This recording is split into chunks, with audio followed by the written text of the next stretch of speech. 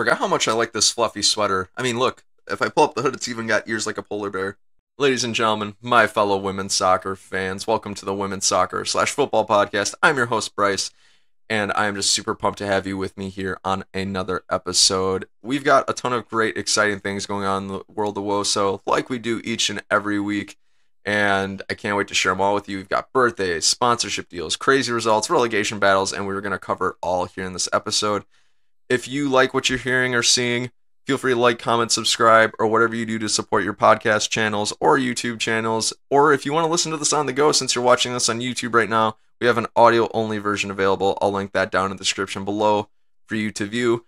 And as also, if you're looking for more content that's going on each and every day, I use TikTok and Instagram almost every single day, and we've got you covered there too. I'll link that down in the description below as well, should you be interested. But with all that boring stuff down out of the way, let's get into the show. So we're going to kind of abbreviate all the segments that I usually do for each episode because to me it just makes a lot more sense rather than doing a, a segment and then referring back to the old segment and just the very next one. So we're just going to do a bit of a mashup here. We're going to kind of combine the women's football of the week and the moment of silence. This is what we'll do. We will dedicate the moment of silence to our women's football of the week. Our women's football of the week is going to be the one and only, the honorable, one of my top three favorite players in the world, Fran Kirby. That's right. For her performance, her masterclass, unselfish, world beating, tower of towering power, whatever performance where she scored two goals and had four assists in a cup final. That was the stuff of legend, and it was one of my favorite final performances that I have ever seen in the world of WOSO and in sports in general. That doesn't happen very often where you have that many goals and that many assists and that many goal involvements in a game in general, let alone in a cup final. So, Fran Kirby, if you'll join me on the count of three in the moment of silence and also dedicating this in crowning her the women's football of the week, please indulge me. One, two, three. Salute. All right, ladies and gentlemen. Who is your women's footballer of the week? Who did you dedicate your moment of silence to? Feel free to jump down in the comments below and let me know what you think. All right, so let's start getting to some main topics, shall we?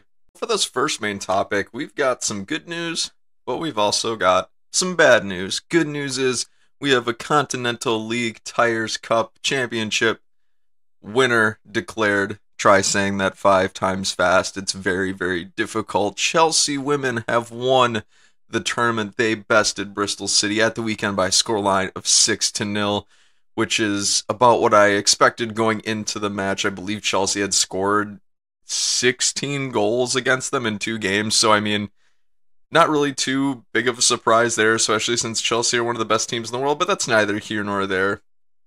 Well, we do have a champion, and that's great news.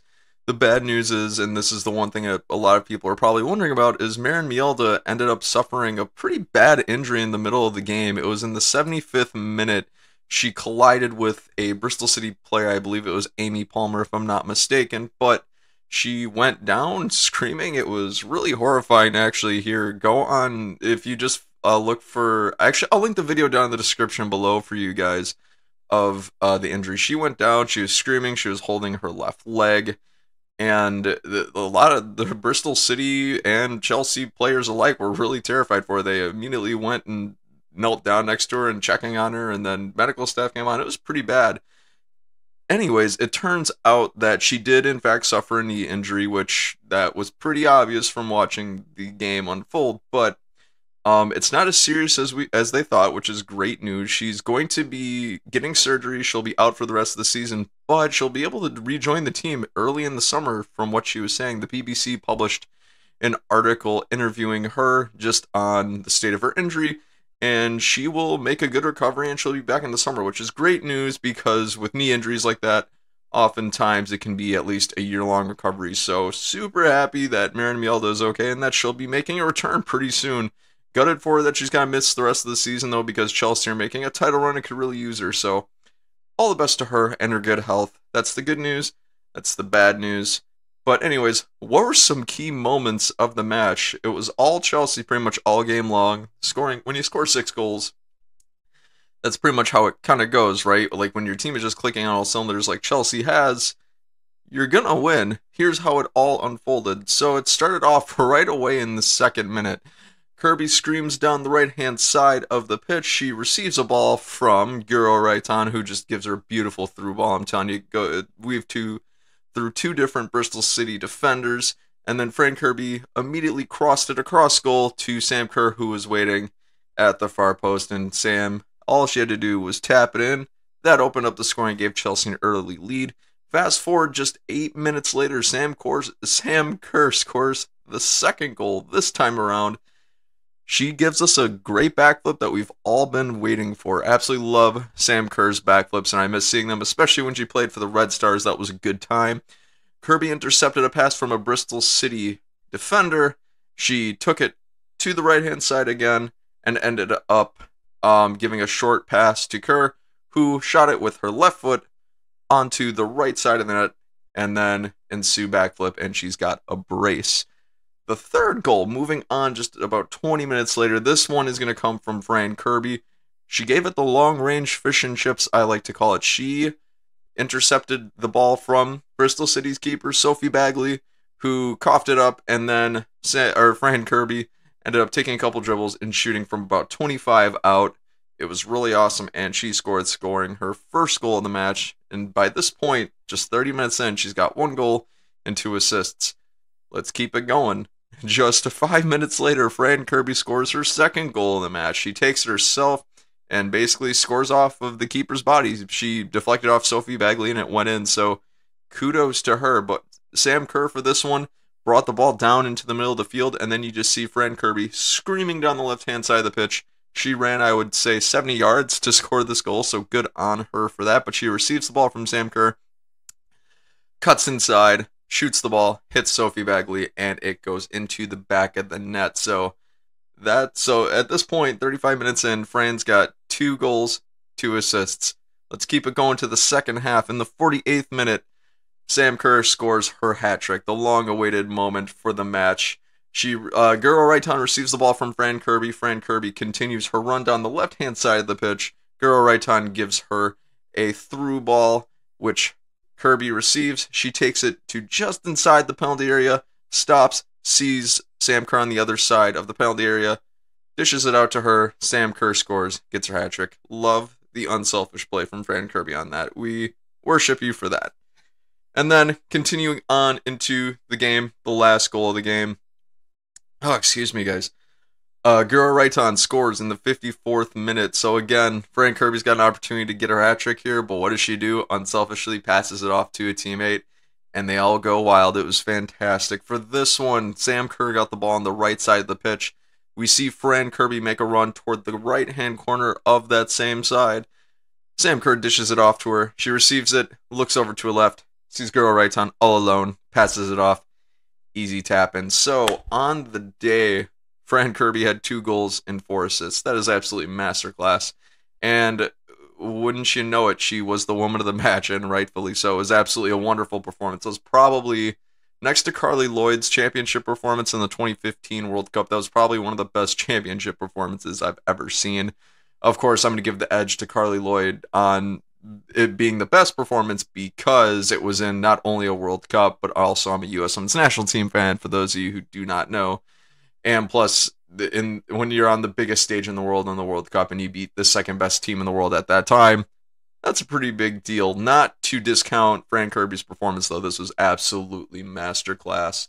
Um, she exercised humility, unselfishness, this uh, ravenous want to score goals and provide opportunities for her teammates. She did it all this game, and she's been doing that really well all season long. So, shout out to you, Fran Kirby. Absolutely wonderful. Um, in terms of a tactical analysis for this particular game, not really much of one to give. Like I said, Chelsea dominated all game long from literally the start of the whistle all the way to the end. And I really didn't expect much different. Like I said earlier, they had scored 16 goals against Bristol City in the last two matches they played, and now I believe they're up to, my math is right, 22. So they, they just dominated all game long. And the one big takeaway I think I like about this game is that partnership between Sam Kerr and Fran Kirby. I've seen it a couple of times with Chelsea throughout the season where they'll have them almost play a left striker and a right striker, which it's proven to work really, really well. Every time, just about every time Chelsea do that, they win matches. The last time they did it was when they beat United, and look how that turned out. They beat United, much to my chagrin and sadness, teardrop for those of you who are listening on audio right now. But it, it makes for really good entertainment from a footballing perspective because who doesn't love seeing a ton of different goals go down and a ton of creativity? I mean, they just feed Sam Kerr and Fran Kirby just feed off of each other really, really well. And for Chelsea, it pays dividends. They're starting to see all of their pieces that they've picked up over the years come to fruition. And then when you throw Pernille Harder into the center attacking midfield mix, well, then now you've got an unstoppable trio that I would argue is probably one of the best in the world. So things are looking bright for Chelsea. I cannot wait to see them play Manchester City later on for the WSL season and just see how that impacts the title race. It's going to be something special to watch. So keep your eyes peeled. Um, I would say in that partnership that Fran is doing most of the setting up, which makes a ton of sense, right? Because Sam Kerr is more of a pure, bona fide, proven striker than Fran Kirby, I would say. And Fran is more of the winger type where she provides the service. So it, it really plays well to their strengths. So I'm not really surprised that's, that's how it, it generally turns out. Most of the time in that partnership, um, in, in the game, it's evident too. Kerr scored three, Sam, or yeah, Kerr scored three, Fran assisted four. So it, it, it all adds up in my mind. It, it's it, it's absolutely perfect. Um, at the end of the day, I'm gonna kind of shift over a little bit to more of the Bristol City side of things because the fact that they were even there in the Continental Tires Championship match is, I think, a true testament to how well they played in this tournament. I think that despite them losing pretty badly to Chelsea in the championship match, that they should be proud of their performance in the tournament entirely because in the WSL they haven't had the greatest season. They're in a relegation battle. Their goal difference, I believe, is still around minus 40, so it hasn't been great for them in that aspect, but they're still finding a way to get opportunities to win silverware. And for them to get to the championship in the manner that they did, I think it merits uh, praise. And I they I think they've got the potential to do good things. They've got Ebony Salmon, who's a really young, promising talent at just the age of 19, which freaks me out. But they've got the pieces to put together a solid team, and I think that they'll get better in time. And as the season WSL season's been going on, they've been proven to play better and better. They've won a few games in the last few weeks. They're starting to crawl their way out of the relegation battle. So I think that the fact that they're just there at the championship game in and of itself is something to be praised. Of course, no one loves losing 6-0 in a in a cup final. That's never fun, but nevertheless, I think they should be proud of what they've done for this. Uh, what do you call it? For this uh, Continental Tires League Cup run. And honestly, on the flip side of that, if they did end up beating Chelsea and they did win this tournament, I think it goes down as one of the best WOSO upsets like ever because just wow. Because I mean, Bristol City is one of the worst teams in the WSL, and Chelsea is one of the best teams in the world. The world, mind you. And if Bristol City beats them, I think it tops the upset of Brighton beating Chelsea to ruin their two-year uh, unbeaten run. So that that would have been cool to see. Like, like, I said, especially from a footballing perspective, it's something I can appreciate, and I love seeing upsets. Who doesn't love an underdog, right? But um, at the end of the day, Bristol City should hold their heads up high. Chelsea won it, well deserved, and not really a ton of surprises on that end. So, ladies and gentlemen, I want to know what you think of the Conti Cup final? Feel free to jump down in the comments below and let me know what you think. Let's get into another main topic, which is just going to be a midweek recap. So, a lot of WSL fixtures have been going on during the week this week because postponements, things getting made up. That's natural, right? So, I want to catch you all up on the results that have been going on around the league and some other things as well. So, we'll start off with Everton Chelsea. Chelsea ended up winning the match today by scoreline of 3 to Everton's nil. Overall, who scored for Chelsea in this one? Fran Kirby, the honorable, the legendary, opened up the scoring in the 14th minute with a goal. Just about 45 minutes later, jumping into the second half, Pernille Harder ended up adding to that tally and scored in the 60th minute.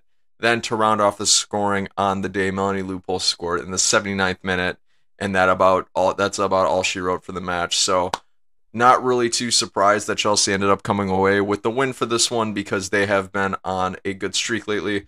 And then, as I've mentioned in uh, previous episodes, Everton have proven to crumble against teams that are above them in the table. They, I don't believe all season long they've beat City, Everton, United, or Arsenal at all. So I'm not really too surprised that they lost this one. And plus, I think Chelsea have a lot more riding on them in this particular case. Every single match matters if they're going to go ahead and win the title. I think that what they'll do is they'll end up winning out, but their match against City in April is going to decide who the title winner will end up being. So if Chelsea loses it all leading up to then, it puts a lot of pressure on because then that means they have to beat City, and even then that might not be enough because of goal difference and things like that. So not really too surprised. They have a ton of play for, and they've got to win each and every week. So Chelsea three, Everton nil. What was the next match that happened on the day today? Brighton Hove Albion and Aston Villa took each other on today. Brighton came away victorious by a scoreline of two to Aston Villa's nil which I'm not surprised because they're coming off of a month in which their manager was just declared manager of the month. Congrats to Hope Powell on that. And also, Aileen Whelan was one of the contestants for the player of the month as well. So they have been playing very well as of late, and they continue that run today. Who all scored for Brighton? Aileen Whelan herself in the 21st minute opened up the scoring, and the score was 1 0 all the way up until like the last 10 minutes of the match when Kaagman ended up scoring the second goal in the 81st minute and ended up sealing the victory for Brighton. So this was a massive, massive result for Brighton and a big three points because now they have crawled their way out of relegation from losing to Bristol City 3 0 about a month ago. And now they've won four in a row and they've climbed all the way up to sixth. With the win, they bypassed Reading and are now in sixth and are just behind oh, what are they called? Everton. Sorry, I blanked out on the name for a second. And plus, Brighton, Everton, and Reading have all played the same number of games, and Brighton is only four points behind Everton, so they're not trailing far behind. This it's getting really, really interesting to see how the relegation battle is changing each and every week. From the Aston Villa perspective, this is a very damaging result because with them being so close to the relegation spot, they're only one point out and in tenth place currently, you got to at least come away with a point. Even if they drew, that's still a big point that they can use to ride to the rest of the season. Not really too surprised that they lost in this one, given Brighton's run of form. They've been playing very excellently lately, and they've been on fire and they've been riding the wave. So, not really too surprised here. Aston Villa, there's a chance they'll get relegated, and they're still scrambling in that spot. So, we'll see what happens as the season goes on. What was the third match of the day? we had a Bristol City, Manchester City top table versus bottom table clash. Manchester City walked away with this one with three goals. Bristol City walked away with none. So, who all scored for Manchester City today? Caroline Weir opened up the scoring in the 12th minute, and then Ellen White followed up with it just 18 minutes later in the 30th minute, doing what she does best, scoring goals for club and country, which is what all great strikers do.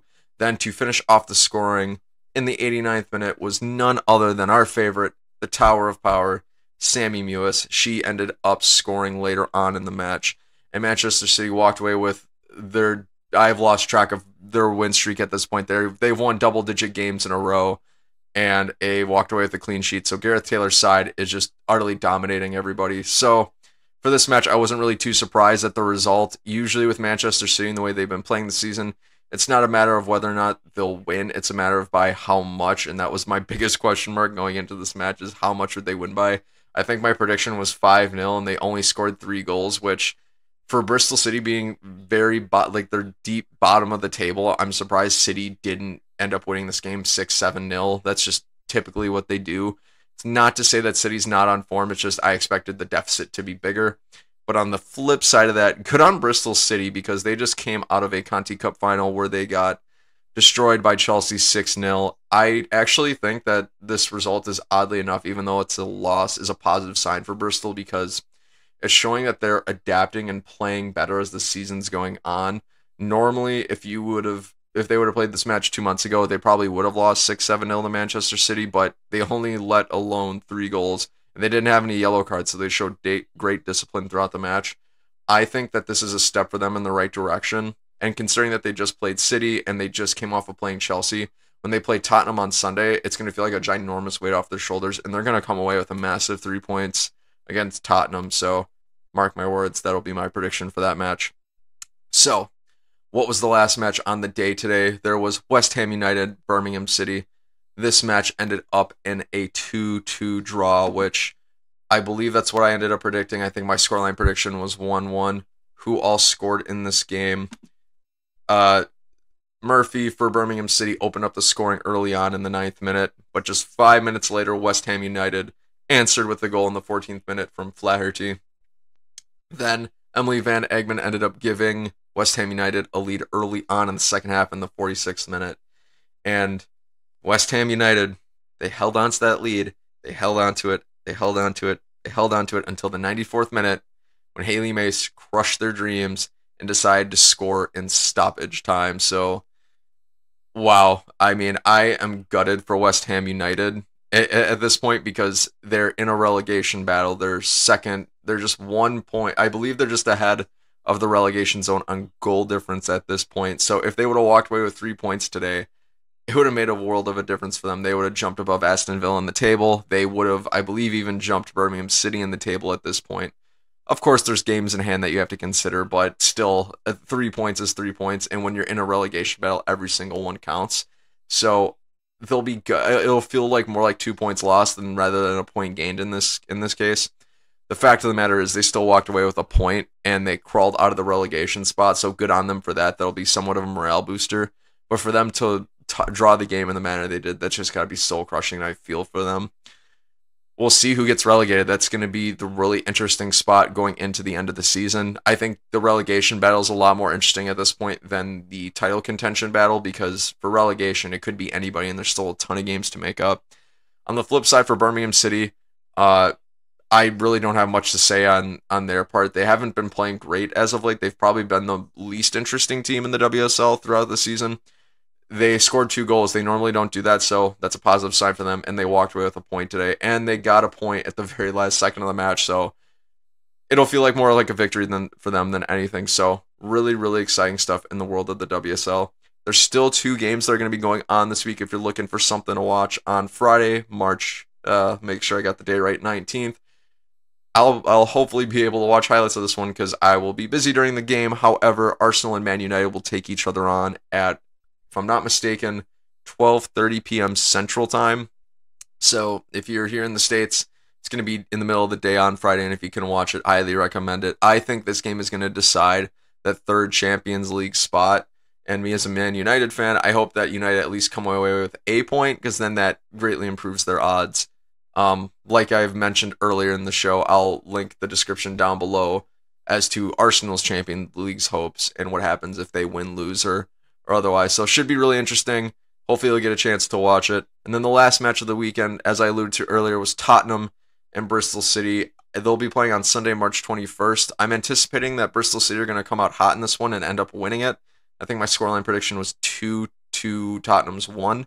So Bristol City, I think, are going to get a massive three points and really upset the relegation battle this weekend. So that is going to be a game to watch. So that's just catching up on the WSL results during this uh, interesting WSL week. What else has been going on in the world of WSL? Well, there's a U.S. Women's National Team birthday today. The legendary, the most prolific goal scorer in the history of the U.S. Women's National Team, and also tied in third for caps, if I'm not mistaken, Mia Hamm turns 49 today. She is one of the most gifted players to ever play the women's game and the game in general. She is a maestro with the ball and she scores like no other. If you haven't seen her play, please go on YouTube and watch some highlights and just sit back and enjoy it. It's a ton of fun to watch. Um, what else has been going on in the world of WOSO? There's two things related to sponsorships for players. Actually, I'll add in a third now that I can think of it. We'll start with Rose Lavelle. New Balance made a cleat for Rose Lavelle, and let me tell you, it's absolutely sweet. It's all white, it's decked out. I'm gonna try to find a way to get a pair for myself just to have because they just look so cool. I'm like, man, I need to buy one of those. So, uh, something to keep your eyes out on. And plus, New Balance I think is a really underrated brand, so there's that as well. Uh, the second piece of that, Catarina Macario is now an Adidas athlete. She has signed a sponsorship deal with them which is super exciting because that shows a ton of growth and promotes her global notoriety. Adidas is really good at both of those things. Plus, as an Adidas guy myself, I'm a big fan of their gear. So if they have some things that they create for Catarina Macario, I can't wait to see what they look like, and I'll be keeping a close eye on that. Uh, overall thoughts and observations for that. It seems really interesting that she picked Adidas because um, most of the time, U.S. Women's national team players, when they're up and coming, they end up signing with Nike. However, I think Adidas is more of a global presence, at least in my mind. Then again, I, I'm not really a brand snob in general, so don't really know much on that front. However, I think Adidas will give her a good global presence and everything that she needs. So, really excited and pumped for her to be signing that deal. Then, lastly, the last sponsorship deal I can think of is Portland has signed, I believe, a three year deal with TikTok, which to me just perfectly fits the Portland Thorns. It's really trendy. It's really it's it's in right now, and TikTok will be for a long time. So it makes a ton of sense to me. TikTok, their logo will be featured on the right shoulder of their jersey for the next few seasons. And with their jersey, it really looks sweet. If you are able to, feel free to go look up pictures of their jersey. It's really, really awesome. So Portland is making another connection on that front, and I'm really excited to see it. More sponsorship means more money, means more awareness, means better for the whole WOSO community. So, ladies and gentlemen, that is all of the midweek recap news and announcements that I have. Are there anything big that I have missed? Feel free to jump down in the comments below and let me know what I missed or what you thought of the results. So, with that down out of the way, let's get into another main topic. For all my U.S. Women's National Team fans, you're going to love this next main topic because the U.S. Women's National Team, or the U.S. Soccer Federation, I should say, announced their next friendly in April, and wouldn't you know it, it's against another top three team in the world. The United States are going to take on France on April 13th at 3 p.m. Eastern on ESPN2, which means we get Sebastian Salazar and Julie Foudy, my favorite women's soccer commentating group of all time. It's so much fun. For those of you who don't know who Sebastian Salazar is, please do some Googling and look up Christen Press, What Have You Done on YouTube, and you will see all you need to see. It's absolutely phenomenal. But so the the good news is the US are going to get another tough test because I would argue that they need more of these tough tests leading up to the Olympics if they're going to be ready. I think that they've had some decent competition up until um in 2021 leading up to the Olympics. They've had to face Canada, they've had to face Brazil, they've had to face the Netherlands, and they've played pretty well in all three of those matches, maybe with the exception of Canada, and they play so great, but they still won. So I, I'm all for the US playing tougher matches because then that's what's really going to get them prepared to shine in the Olympics. You don't get better by playing against opponents that don't meet for 18 months. No offense to Argentina, but that's just kind of the reality of the situation. I think that the US have had a good mix of I guess we'll call them snowball matches. Like I said, no disrespect to Colombia and Argentina or the like, but in order for the U.S. to prove that they're the best team in the world and continue to be the best team in the world, they've got to play against really tough competition. And what better way to do it than in a friendly leading up to these big competitions? So I'm really pumped to see them play against France in April. The bad news is we have to wait about a month from this recording to see it, and I'm getting really antsy the match is going to be played over in France. I don't know how to say the name of the city because I do not speak very good French. In fact, I don't speak French at all. It's I think it's called Le Havre.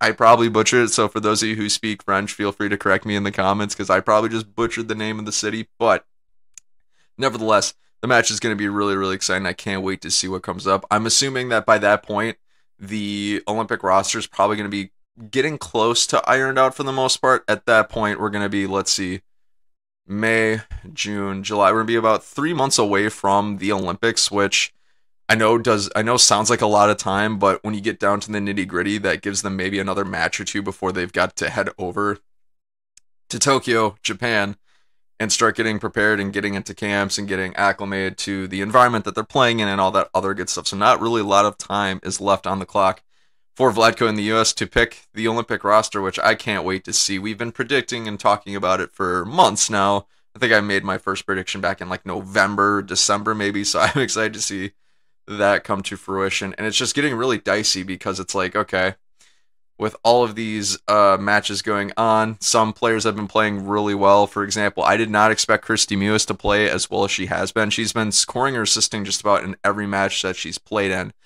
whether or not she's been starting or being subbed on. Literally almost every match I believe she scored or assisted in. I can't think of one where she didn't.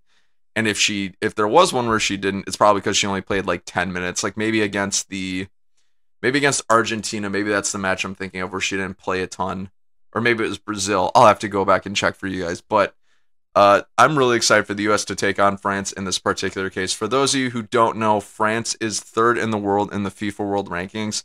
What those currently look like right now, the United States is number one, Germany is number two, France is number three, and the list goes on and on from there. I don't have the list offhand right now because I I forgot to write it down. I'm sorry, but it's going to be good for the US to get more tests like this. I would love to see them get one more test before the Olympics after they play against France. The good news is that they have to play uh, Sweden this month in uh, in the month of March. They're playing, I believe, in a few weeks, if I'm not mistaken. I'll have to fact check myself later. But if they played Sweden, France, and then maybe one other powerhouse team, like maybe England. I would be cool with an England friendly. Who doesn't love a U.S. England friendly? Those are one of my favorite matches to watch, especially in the She Believes Cup. I missed seeing England in the She Believes Cup this year, if you could not tell. But just one more tough test for the U.S. to face, in addition to Sweden and France, just so they're really getting into the rhythm and just so that they're all ironed out and all the kinks are worked out. And then Vlatko can try all of his tactical things that he's been experimenting with the one interesting note I want to see is I'm wondering if he'll do a 4 2 3 1 again for a little bit. I noticed that in the previous, uh, one of the previous friendlies in the She Believes Cup, they tried out a 4 2 3 1 where they had two holding midfielders in Julie Ertz and Lindsey Horan. And didn't didn't really work. I don't think it worked so well. Lindsey Horan's def. I don't think the U.S. have enough defensive midfielders to really pull that off. I think for them a 4-3-3 makes way more sense because we have a lot more creative midfielders than we do defensive midfielders. So take take that what take away from that what you will. But Vlatko's the ma- masterclass tactician, so he would know better than I would. But it's just something I just I like seeing that spiciness in the play a little bit. It's just cool to see, even if it doesn't work. You know, these are just friendlies and it doesn't hurt. So really exciting stuff. I can't wait to see what he does next. So, ladies and gentlemen, do you have any scoreline predictions for the U.S. Women's National Team France match? Are you excited for the match? Do you think Vlatko's unbeaten run of 16 games is going to end? Whatever you think, feel free to jump down in the comments below and let me know what your thoughts are. All right, so that'll do it for the episode. I want to say from me to you, thanks so much for watching, everybody. I hope you like the different format, more of the looser style of the podcast this week all that structure was boring me to tears, so I wanted to try something a little bit different. Looking forward to doing that more often in the future. Thanks again for watching, everybody, and until the next time, have a great day.